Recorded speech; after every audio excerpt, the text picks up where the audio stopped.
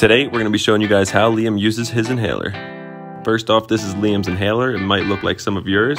And then to pair with that, we have the spacer. This is an AeroKat spacer. And when you put the two together, it works like that. To start off the routine, I shake the inhaler and get down on my knees, and that signals Liam to let him know it's time for a puff. He then walks in and out of my arms, getting pets, and when it's finally time to get the puff, I flop him down on his side and put his legs on my leg. And after a few more pets and making him comfortable, it's time to cup the back of his neck slash head. This was crucial in the beginning to making him not move while giving him a puff, but I do not have to do this anymore.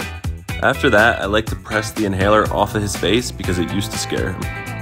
After that, you gently put the mouthpiece on his snout and he will signal you if he needs a little air.